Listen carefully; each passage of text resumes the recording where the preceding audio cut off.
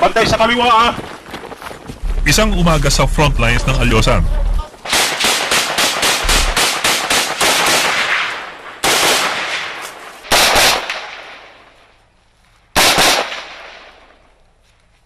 Pero hindi ito assault ng mga civilian volunteers or CVO sa kuta ng MILF.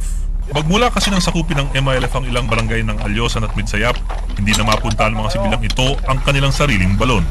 100 meters kasi ito lagpas ng front lines na sakop na ng MILF.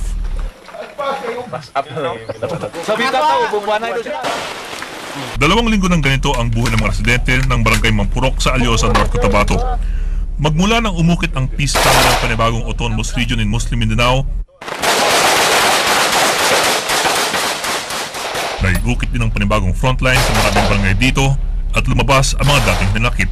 Kung papayag kami na isabayo sa amin sa AM, parang na paranaw ko na parang gulo rin ang uh, abutan namin. Yung commander nila, kung may inihandang ipuputol ng ulo namin, kami may handa rin kaming Chris na para iputol sa ulo nila. Itong posisyon ngayon ng CVO ilang beses nang nilusob ng mga rebelde. Nung nakaraang linggo, 30 ang napatay nila.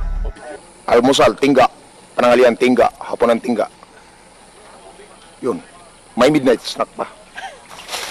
Pero hanggat hindi natatapos ang bagong hilwaang ito, kapwa Muslim at Kristiyano ay gugutumin lang sa bigas at bubusugin.